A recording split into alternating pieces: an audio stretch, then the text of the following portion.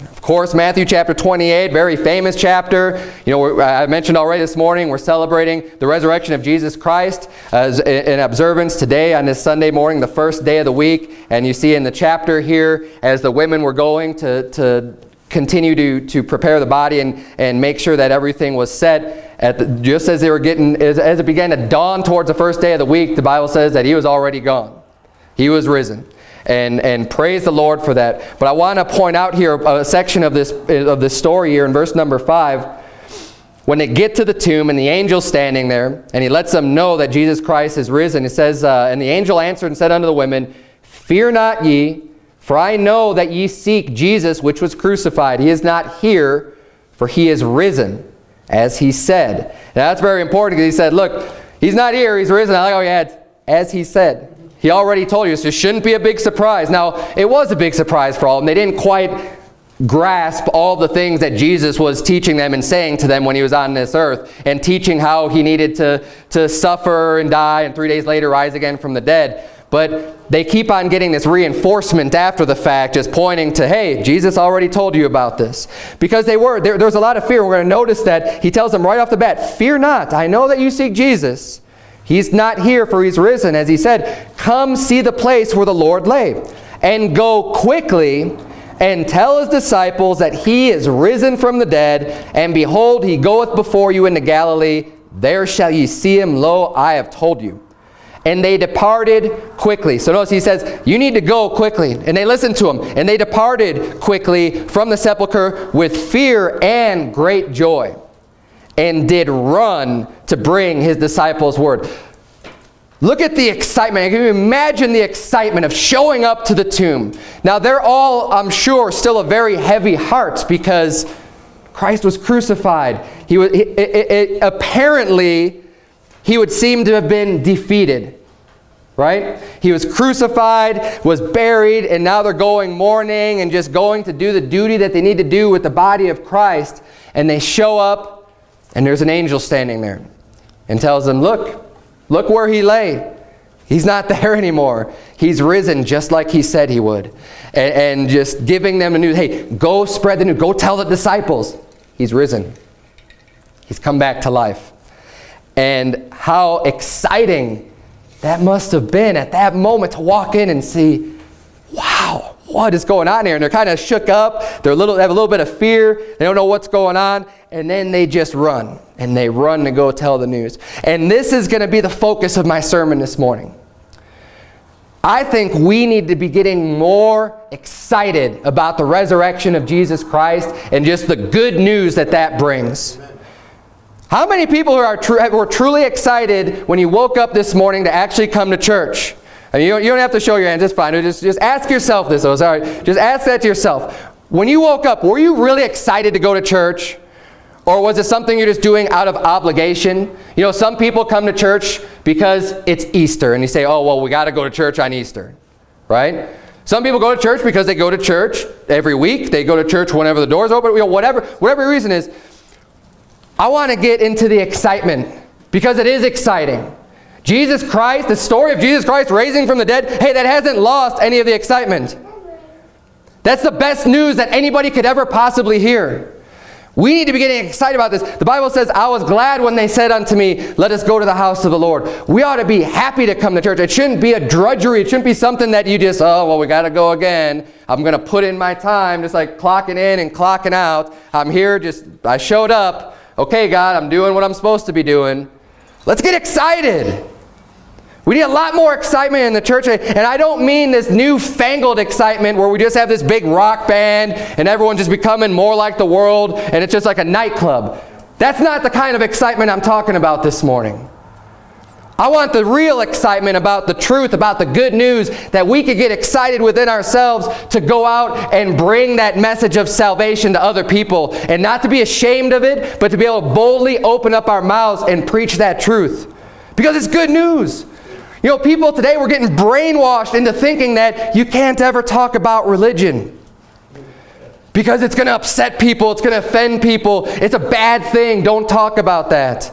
And, and, and it wears on you. And look, we're all human here. And the more you get this from the world, it's going to hit you and hit you and hit you until all of a sudden you realize, you know what, I'm not really saying anything anymore. We need to get that excitement back and get the proper view. The gospel is not a bad thing. Are some people going to get offended? Yeah, you know what? Some people will get offended. But how can you worry more about them getting offended than them going to hell? And this is, this is important news. And this is great news. I mean, look, who in the world has, has been dead, crucified, dead, and buried, and put in a tomb, and then all of a sudden, they're gone. They arose from the dead. There's one like that. There's one. Jesus Christ. So they ran quickly from the sepulchre. They, they had great joy, and they did run to bring his disciples word. Verse 9 says, And as they went to tell his disciples, behold, Jesus met them, saying, All hail. And they came and held him by the feet and worshipped him. Then said Jesus unto them, Be not afraid. So over and over again in this chapter, you're going to see him saying, Look, don't be afraid. Don't be afraid. Go tell my brethren that they go into Galilee, and there they shall see me. And we need that same message this morning. Don't be afraid. We need to spread the good news of the resurrection of Christ, the great news. It's something to be have great joy over, to be excited about, to be ready to run out and, and go and tell people about the resurrection of Christ. But we can't be afraid. Fear is going to stifle you. It's going to stop you. It's going to cause you to close your mouth and to sit at home and to not be excited about anything, not to be excited about coming to church, not to be excited about serving God. There's many reasons that we ought to have this great joy this morning about the resurrection of Christ. I'll read for you. Turn if you would to 1 Peter chapter 1. 1 Peter chapter 1, right near the end of the Bible. I'm going to read for you from Luke 24, another account of, uh, of the resurrection of Christ. In Luke 24, um, verse 51, the Bible reads, And it came to pass, while he blessed them, he was parted from them and carried up into heaven. And they worshipped him and returned to Jerusalem with great joy and were continually in the temple, praising and blessing God. When Jesus Christ departed from them in Luke 24, they had great joy because he was risen from the dead. And then from that point forward, it says they were continually in the temple praising and blessing God. 1 Peter chapter 1, verse number 3. Bible reads, Blessed be the God and Father of our Lord Jesus Christ, which according to his abundant mercy hath begotten us again unto a lively hope by the resurrection of Jesus Christ from the dead. Our hope and our salvation, it's not a dead hope. We have a lively hope, and we ought to act like we have a lively hope because we have a risen Savior. We have a God that's not like the false gods of the Bible where you remember Dagon who, who was set up when, when the um, Philistines had, had taken the Ark of the Covenant and he was falling down and his head fell off and they were all, you know, it's like their God had died. And he wasn't coming back to life. He couldn't speak. He was just a, a dumb stock, a dumb, a dumb stone, right? A dumb graven image. That's not our God. Our God cannot be defeated. Even when all things seem to be going bad and wrong and, and what in the world is going on, our God can't be defeated. It is all part of his plan. And, and praise the Lord that we have a lively hope because we have a living Savior. Verse number four, to an inheritance uh, incorruptible and undefiled, and that fadeth not away, reserved in heaven for you, who are kept by the power of God through faith unto salvation, ready to be revealed in the last time, wherein ye greatly rejoice. Though now for a season, if need be, ye are in heaviness through manifold temptations, so he's saying, you know, look, we have a lively hope. We have an inheritance incorruptible. So for all of these reasons, you need to, you need to greatly rejoice even though maybe for a little time right now in your life, you're in heaviness through manifold, through many temptations, through a lot of, a lot of attacks, a lot of things going on. We, we all have problems at various points in our life. Satan's going to be attacking you. Friends and family are going to be attacking you. You're going to be having just Bad situations come up, but we can't let that get you down. We need to still be able to rejoice by the lively hope we have and keep focused on the things that we need to keep at the forefront of our minds, which is the heavenly things, the heavenly Jerusalem. And um, it says here in verse 7 that the trial of your faith, our faith is going to be tried. We're going to, we're going to go through those hard times. But the trial of our faith being much more precious than of gold that perisheth, though it be tried with fire, might be found unto praise and honor and glory at the appearing of Jesus Christ, whom having not seen ye love, in whom, though now ye see him not, yet believing, ye rejoice with joy unspeakable and full of glory. There's always time to rejoice. There's always a cause and a reason to be happy and to go through life. You know, no matter how much pain and, and, and problems that you have in this world, and no matter how difficult things may be for you, we always have a reason to greatly rejoice with joy unspeakable and full of glory through Jesus Christ here. It says, receiving the end of your faith, the salvation of your souls. We're going to be tried, but let's make sure that we, we hold fast to our faith and don't waver, that, when, that we can be found unto praise and honor at the appearing of Jesus Christ. We can be joyful because Jesus was not conquered, as I mentioned earlier. Turn, if you would, to Romans chapter 6. But in Revelation 1, the Bible reads verse 18, I am he that liveth and was dead, and behold, I'm alive forevermore. Amen. And have the keys of hell and death. Jesus Christ conquered death. He conquered hell. He went and, and paid the ultimate sacrifice and punishment for our sins, and he beat it. He says, look, I've got the keys to hell. I've got the keys to death. 1 Corinthians 15, you're, you're still, you go to Romans chapter 6. We're going to spend some time in Romans chapter 6. 1 Corinthians chapter 15 has a lot to do with the resurrection of Christ, but I don't want to go too much in detail here because we're going to hit that in our Bible study also. Uh, I'll read this for you from 1 Corinthians 15, verse 54. The Bible reads, So when this corruptible shall put on incorruption, and this mortal shall put on immortality, then shall be brought to pass the saying that is written, Death is swallowed up in victory.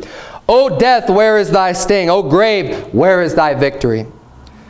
So even in moments, as I mentioned in, during the prayer request time with, with Trudy and her mother passing, if you have Christ as your Savior, as your God, death has no sting. Death has no victory. We have the victory through Christ. Why? Because Christ had the victory. Christ got the, won the victory over death and hell. So if we're in him, we get to share that victory with him as he, as he delivers us from the sting of the, of the death and the, the victory of the grave. There is no victory in the grave. The sting of death is sin and the strength of sin is the law. But thanks be to God which giveth us the victory through our Lord Jesus Christ. Therefore, my beloved brethren, be ye steadfast, unmovable, always abounding in the work of the Lord, for as much as you know that your labor is not in vain in the Lord. We need to make sure, he says, for this reason, because we have victory over death through Christ, we need to make sure that we stay true, stay faithful, remain steadfast, unmovable, not shaken in your faith, always abounding in the work of the Lord. That's something, if you've been coming to this church for a while, if you're new, what we stress here is abounding in the work of the Lord. There's a lot of work for us to do today. You look around and you wonder why the whole world seems to be going to hell, especially this country that was once great, that once actually had morals. It's going to hell. There is a serious attack from Satan, and he's winning. Why?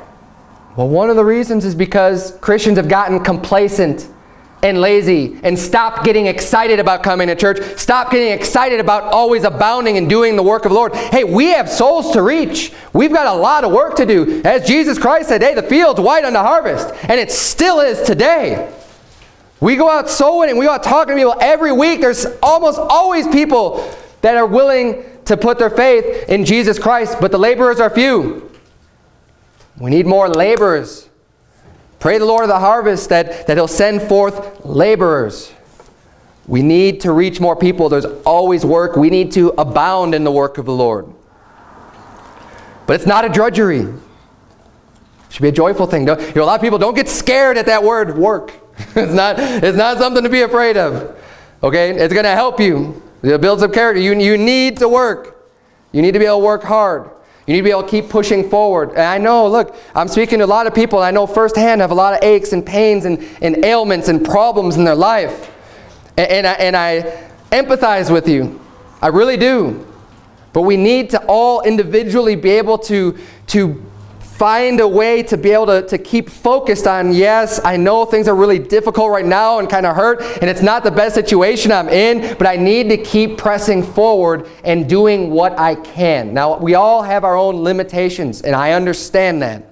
But you know what they are, and we should all be trying to push ourselves to just exceed that limit to the best of our ability, whatever we can do to, to be praying. If you, if you have problems, you have physical problems, Hey, rest your faith in Christ and, and, and pray unto God for that. As the Apostle Paul did. Hey, Apostle Paul said, look, you know, I had, I had a, a thorn in the flesh, a, a, messenger of Satan to buffet me. And he had a problem with his flesh, whatever it is. You know, it's debatable whether it's something with his eyes or whatever. He had a problem, and he went to God, and God says, look, my grace is sufficient for thee.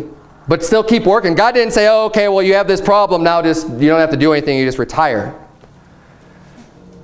You may be able to retire from, from, the, from the physical work that you do, but we should never, ever, ever retire from the spiritual work and the work that we have to do for God. Because if you get to that point, then, then why wouldn't God just take you? Your work here is done. We all ought to have the mentality is that I'm going to keep working and doing what Christ has for me to do every single day of my life. And when he's ready to take me home, when he feels like I'm done with my job, then he could take me. But until that day, I'm going to abound in work for the Lord. You're in Romans chapter 6. Look at verse number 1 of Romans chapter 6. We're going to see the, the close symbolism for, for baptism in regards to the resurrection of Christ. Of course, what we're showing when we get baptized, or when people get baptized, is one, their faith in Jesus Christ, but it's showing the resurrection. It's a picture of the death, the burial, and the resurrection of Jesus Christ. That's why we fully immerse people when we baptize them, because they go all the way under the water, just like Jesus Christ was buried. And then you come back up. We don't leave you down there. this isn't a death cult. We bring you right back up again, showing the resurrection of Jesus Christ as he rose from the dead when you rise out of the water. But let's get some, some good teaching here from Romans chapter 6, verse 1. And I love this verse. It's a little bit of a sidetrack, but I got a little bit of time. It's not going to be a very long sermon this morning. Verse number 1 says, What shall we say then? Shall we continue in sin that grace may abound? God forbid. Now, we teach here that grace is free, 100% free. That the only thing that the Bible requires for you to be saved is to put your faith in the Lord Jesus Christ. Just like Acts 16 says, and they brought them out and said, Sirs, what must I do to be saved? And they said, Believe on the Lord Jesus Christ, and thou shalt be saved in thy house. Amen. Faith in Lord Jesus Christ. It has not of works. It has nothing to do with how good we are. It has nothing to do with how well we obey the commandments. And it has nothing to do with whether or not we've repented of all of our sins. Because I'll tell you what, if we repent of all of our sins, you're going to be perfect. You'll be living the perfect life. That is not part of salvation. It's something that we ought to be doing daily. Daily dying to sins. Daily mortifying the deeds of the flesh. Daily putting that stuff away. But I'll tell you what, if you truly repent from something, you don't do it anymore. Otherwise, you didn't really repent. And if you need to repent of all of your sins in order to be saved, then you can never sin again in order to be saved, if that's the truth. But it's not the truth. We need to repent and believe on the Lord Jesus Christ to be saved. Stop believing in your false God. Stop not believing in Jesus Christ and put your faith in the Lord Jesus Christ for your salvation. And when we preach this, oftentimes people say, well, what are you saying then? Can we just sin? I guess you just go off and do whatever you want then. Well, Romans chapter 6 says, What shall we say then? Shall we continue in sin that grace may abound? God forbid. Of course we shouldn't do that. But the implication that, and if you read Romans chapter 5 at the end of the chapter there, he's saying, look, for if by one man's offense death reigned by one, much more they which receive abundance of grace and of the gift of righteousness shall reign in life by one Jesus Christ. Therefore, as by the offense of one judgment came upon all men to condemnation, even so by the righteousness of one the free gift came upon all men unto justification of life. For as by one man's disobedience, I'm in verse 19 of chapter 5, many were made sinners, so by the obedience of one shall many be made righteous. Moreover, the law entered that the offense might abound. But where sin abounded, grace did much more abound. So the Bible's teaching us there, look, when sin multiplies, when it abounds, when it just keeps increasing, grace abounds even more to cover all of that sin. Basically saying, can we still sin and be saved? Yes, we can. Because no matter how much we sin, what Jesus Christ did was enough to pay for the punishment, to pay the, uh, uh, the atonement for our sins. So it does cover it completely. But should we just, okay, well, have the mindset of, well, okay, well, it doesn't matter now. I'm just going to go off and sin. Of course not. God forbid we would do that.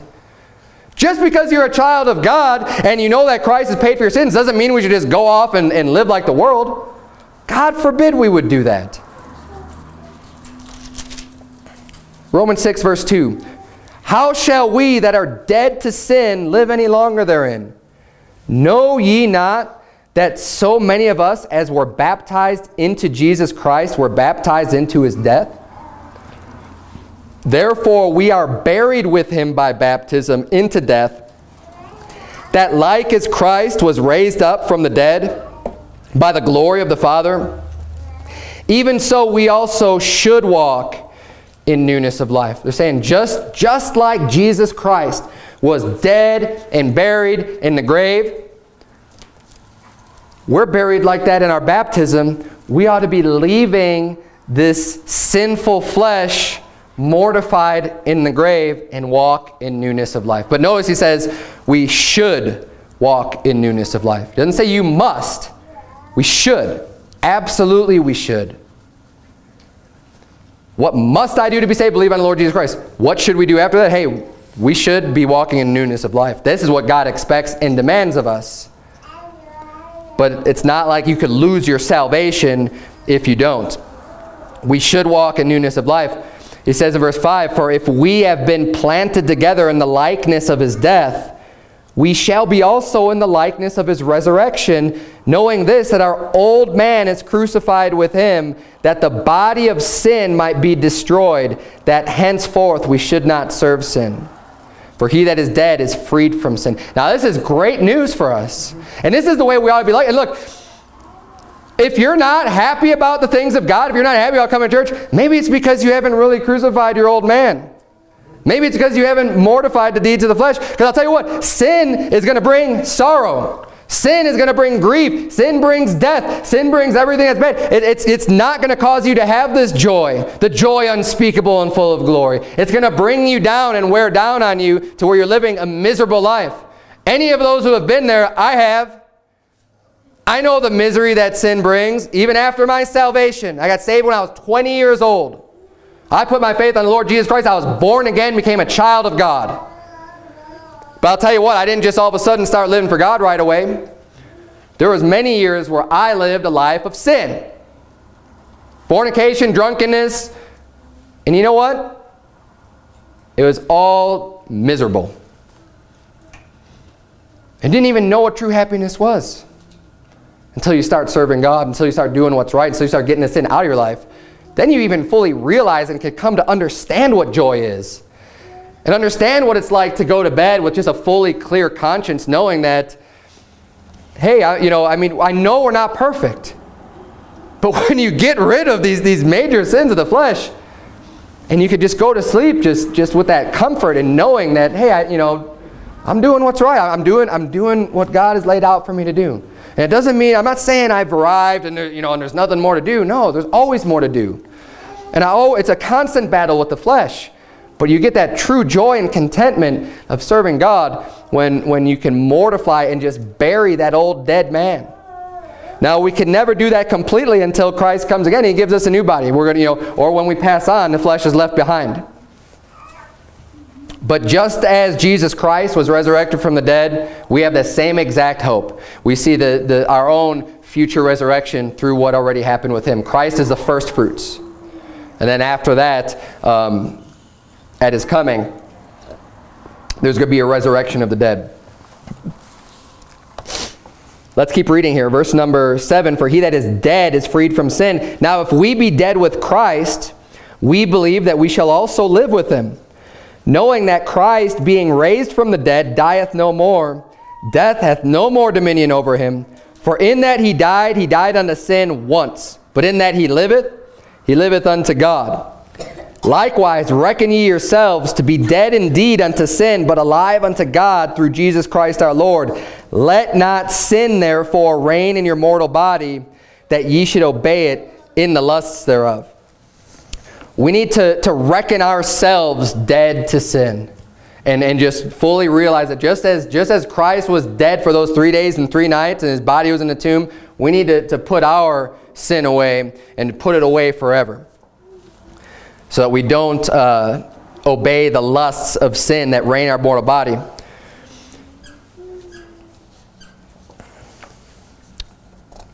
Let's see, where am I return? One more place. Turn, if you would, to John chapter 4. We need to get excited again. I don't know about you, but I'm sick about the I'm sick of these boring churches that that nothing ever seems to be happening. No souls are getting reached. The work of God just is kind of is stagnant. And look, you're the church. We are the church. The church is not a pastor. The church is not a building. The church is a congregation of believers, people who already believe in Christ. And there are so many churches that are stagnant, that it's just boring, it's not exciting. Let's bring the excitement back. The, the resurrection of Christ is a very exciting story. It's probably the single greatest event to ever happen in the history of mankind. The resurrection from the dead. I mean, there's so many great things. You can think of the birth of Christ. You can think of uh, you know, just creation itself and, and, and so many events that have happened throughout history. But the resurrection of Jesus Christ, the final, just the, the, the completion of all of the prophecy, of all of the scriptures of Christ, and, and the fact that, that he has completely gotten the victory over sin and of death and hell. Amazing. First, I'll read this for you from 1 Corinthians 15 again, verse 16. For if the dead rise not, then is not Christ raised. And if Christ be not raised, your faith is vain, ye are yet in your sins. Then they also which are fallen asleep in Christ are perished. If in this life only we have hope in Christ, we are of all men most miserable. What are you saying there? If the dead doesn't, he was talking to the, to the Sadducees that didn't believe in a resurrection. And he's explaining to them, look, if the dead don't rise from the dead, if they just go in the grave and they don't rise again, he says, you know, your faith is vain. There's no, you know, why, would you even say you have faith in Christ if Christ doesn't rise from the dead, if he's just dead and buried and that's where he stays? He says if the only hope we have in Christ is just in this lifetime while we're here, we're of all men most miserable. Why? Because when you're living for Christ in this life, the Bible says, Yea, and all that live godly shall suffer persecution. If you want to, to actually do something for God and start living for Him in that hope of Christ, you're going to be attacked. You're going to have persecutions. You're going to have hard times. Look at what happened to the, to the disciples. They were thrown in prison. They were beat. They were scourged. They had all these problems, problems in this lifetime. But why did they keep doing it? Because their hope wasn't just in this lifetime. They know that there's a resurrection to come. They know that there's going to be a judgment seat of Christ, and they know that they're going to receive rewards for, for all the things that they've done in this earth. They know that there's way something way better coming in the future. They know that there's a resurrection. So they don't care about the, the, the small temporal problems that they might face and the persecutions and the hard times. They endure that. We go through that and we suffer that because we can see the finish line. We can see the end. We know that there's a resurrection just as much as we know that Jesus Christ rose again from the dead. But now has Christ risen from the dead and become the first fruits of them that slept. You're in John chapter 4. John chapter 4. This is the excitement I think we need to have. We see here in John chapter 4 a famous story of the woman at the well. Jesus Christ preaches the gospel unto her. And we're not going to read the whole story, but we're going to, we're going to come in right at the end here, John chapter 4, verse number 25. Because we see what happens and what she does. And I think that we all need to have that type of reaction. Now, I know that I had this reaction after, right after I got saved.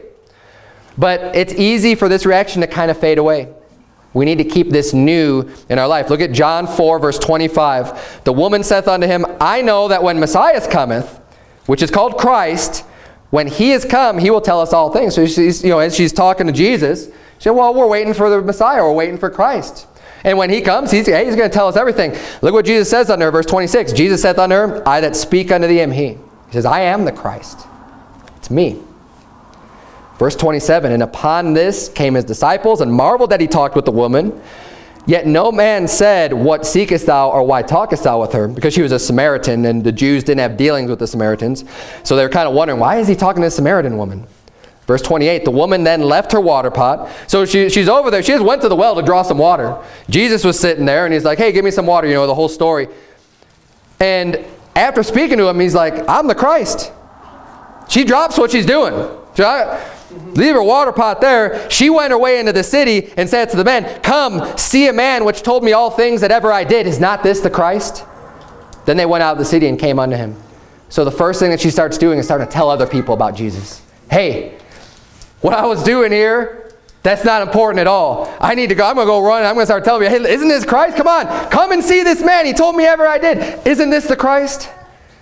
We need to have that excitement to be able to sometimes say, you know, and I know how life gets, and it gets really busy, and I had a really busy day yesterday dealing with all the things that come along with owning a vehicle or owning a house, and all these chores and things that just could, could distract you. And if you let it happen, they could distract you forever. You have to be able to take the time to break free from those things, to leave the water pot, I know that the, the animals need to be watered. I know that, that we need to be able to cook food. I know that this stuff needs to happen. But there's times where you just need to just drop that and go off and tell people about Jesus Christ. You have to be able to do that. It's too easy to get distracted. We need to have that excitement. Don't dread it. Be excited over it. If you have the excitement, it's going to be a lot easier to drop that water pot because carrying the water pot is not that much fun. That's a lot more work. Bending over my car and, and trying to you know get my hands into places behind the engine, is, that's not fun. I didn't have a good time with that. I'd much rather be out soul winning than doing that. And it's a lot easier when you have the excitement and the good news to bring forth. It's a lot easier to say, you know what, this can wait till tomorrow. We can do this another day. And just go off and, and, and serve the Lord. The woman at the well had great excitement. And she, you know what? She didn't, I want to point this out too. She didn't have to sit and take any classes on how to preach the gospel. She didn't have to sit in church and make sure, well, let's watch her. I don't know if she really received Christ. I, I, you know, let's watch her and make sure she doesn't sin. Let's watch her and, and get, you know, and do all this other stuff before we're going to allow her to go and talk to people. You never find that in the Bible. If you know how to get saved, you know how to tell other people how to get saved. It's as simple as that. Now, obviously, we want to be as good as possible at preaching the gospel and knowing as much Bible, and that's all very important. We stress that very much. And we do have soul winning classes. We do try to help you to get better, but everybody's encouraged. If you're saved this morning, you are encouraged to go out and preach the gospel and whatever capacity you have. I understand some people aren't able to walk very well. You know, we go out and we knock on doors, we go door to door and we talk to people, but that is not the only way that you can preach the gospel. So if you are physically, for whatever reason, incapable of doing that, there are plenty of ways to find a person and talk to them. I know for a fact that everybody that's in this room made it out of their house and got here, so nobody here is just, is just stuck in their house. If you could make it here, you could make it to a grocery store, a park, a house, whatever. There are plenty of places to be able to fulfill the great commission of preaching the gospel to every creature. Now, I encourage you to come and be a part of our door-to-door -door soul winning that we do here. But again, I understand if you can't do that. But we make soul winning as easy as possible for you to be a, a participant of. We have published times that we do every single week without fail, twice a week. But in addition to that, anybody who's interested in coming out soul winning, talk to me or talk to others in the church. I will make a point to the best of my ability. I still have a full-time job, so but but I, I have some flexibility. If you want to go out and do that and there's a time, these times don't work for you, let me know. I would love to go out and, and preach the gospel with you. And the way that we do it here is, is you know, a lot of people are new to this. They've never done it before, and they can be intimidated. We start off, just be a silent partner. We go out two by two. Let, let, let me do the talking. I like to talk. That's why I'm the pastor, right? I'm, I'm going to talk all day. Let me do the talking and learn a little bit and see the scriptures that we turn to and just the way that we, that we present the gospel. It's not that difficult. It really isn't. It's good news. It's something to be excited about. When you're happy about something and you have this gift, how hard can it really be to just, to just tell someone that, hey, there's a free gift. God loves you and he wants you to be saved. And, and he, he did so much for you, so much that his only begotten son, Jesus Christ, died on the cross. But after he died, that wasn't it. He rose again from the dead. And he paid for your sins. All you got to do is just, just trust him as your Savior. Put your faith in him. It's easy. I just did I just, I just gave you the plan of salvation. Now, you know, when we go out and talk to people, we want to spend as much time as possible to make sure they fully understand that there's no works involved and whatever. But if you could at least just do what I just said, you can, you can share the gospel of Jesus Christ with somebody. It really is that easy. But unfortunately, what happens is we have fear. Turn, if you would, to Mark 16. This is my last point I'm going to make, and we're going to be done. Mark 16.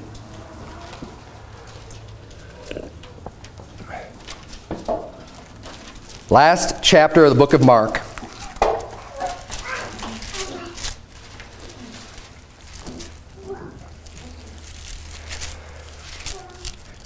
Anybody who's saved that I've ever met or talked to is happy about their salvation. They're truly saved, you're happy about it. You're happy that you're not going to hell. You're happy that Christ paid for your sins. It's definitely a reason to join. But, but not everybody goes out and, and tries to talk to people about it and tries to share that gospel. Actually, very few do. Very few. And the reason why is fear. Look at Mark 16, verse number 7. This is another account. It says, But go your way, tell his disciples and Peter that he goeth before you into Galilee. There shall ye see him as he said unto you. And they went out quickly and fled from the sepulchre, for they trembled and were amazed. Neither said they anything to any man, for they were afraid. Now, these are the women that was being spoken to. They did, they were excited. They did go and tell the disciples. They did tell the disciples, but they didn't tell anyone else along the way. They said they didn't, they didn't, they didn't speak because they were afraid. They had fear. Fear is what's going to prevent you from opening up your mouth boldly. The opposite of fear is having boldness, right?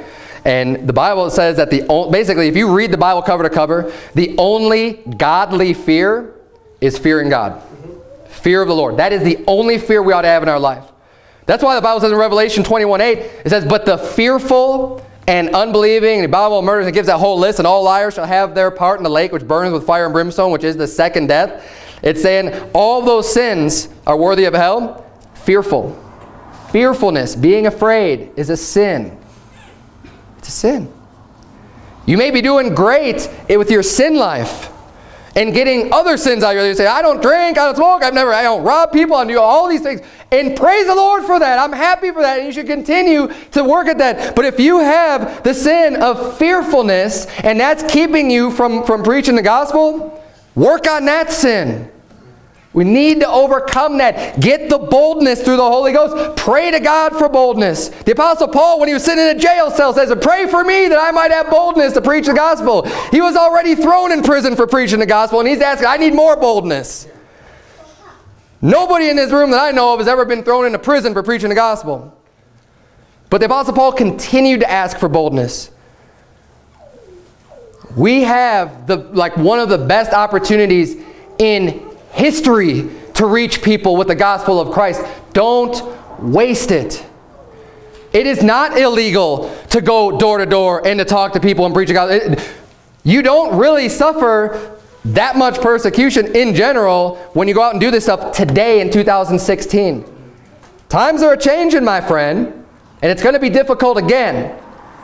But if you can't do it now when it's easy, how in the world are you going to be able to do it when it's much more difficult? We need to be able to open up our mouths and boldly speak. In 2 Corinthians 4.13, the Bible says, We having the same spirit of faith, according as it is written, I believed, and therefore have I spoken. We also believe and therefore speak. If you're a believer this morning, you ought to be able to speak and tell other people that you're a believer also. Let's get excited, man. I love, I love celebrating the resurrection of Jesus Christ this Sunday. It's exciting. Let's bring that good news to other people. Let's pray. Dear Heavenly Father, Lord, we thank you so much for the sacrifice that you made for us, dear Lord, for everything involved in, in the death, the burial, the resurrection of Jesus Christ, dear Lord. We thank you for loving us and carrying us so much, to put so much thought towards us, and, and to go through everything that you've gone through, dear Lord, for sinners, for wicked sinners like ourselves. Lord, it's a love that is so amazing that we can't even fully reciprocate, dear Lord. But I pray, I pray that you would please help us to have the boldness, to have the excitement, to, to, to have the joy that comes with your love and the sacrifice that you made and our own salvation, that you would help stir up our souls, stir up our spirit, dear God, today to want to preach the gospel to the lost. It's in Jesus' name we pray. Amen.